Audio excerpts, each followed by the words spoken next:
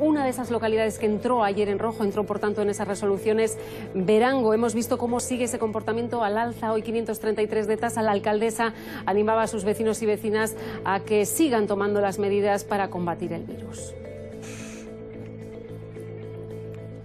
Estamos transmitiendo eh, en estos últimos tiempos eh, un mensaje de ánimo por un lado, de ánimo y por otro lado eh, pedir, seguir pidiendo responsabilidad y eh, autoprotección, porque en la medida en que nos autoprotejamos, protegemos también a nuestras familias y a nuestro entorno.